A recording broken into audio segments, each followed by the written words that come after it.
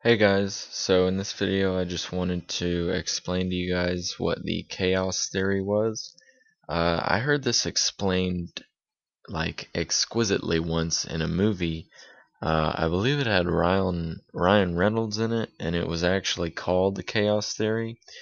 Um, but I'll give you my little spin on it. Um, he said, or the writer said, that uh, the chaos theory is basically the theory that chaotic things happen for a reason, or at least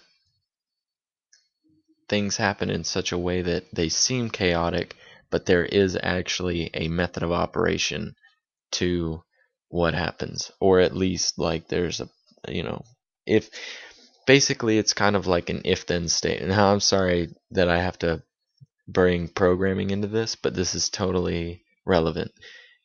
In in, in a program, an if then statement states that if the switch 1 is on, then light 1 is on. So if switch 2 is on, therefore we can assume that light 2 would be on.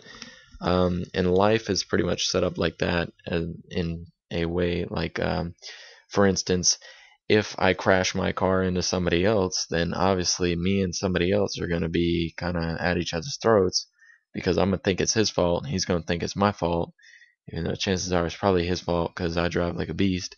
But uh, yeah, and he said in the movie it says something as chaotic as the human heartbeat can keep us alive.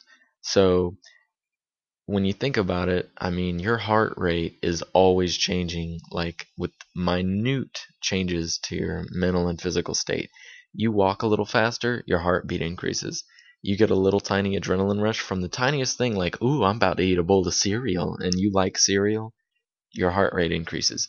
Your heart rate decreases after you get that initial rush, or you slow down, and it's always changing. There is no way to measure a steady heart rate over a large period of time. Now, over a you know a few seconds, your heart rate might have been one beat per you know a certain number of seconds or whatever, or a second, whatever. I don't know, but um, it's you know it's chaotic, but it manages to keep you alive. So um, I just wanted to share that with you guys. It just kind of popped into my head uh, what the chaos theory was, and um, yeah, I hope you enjoyed that, and I'll see you next time.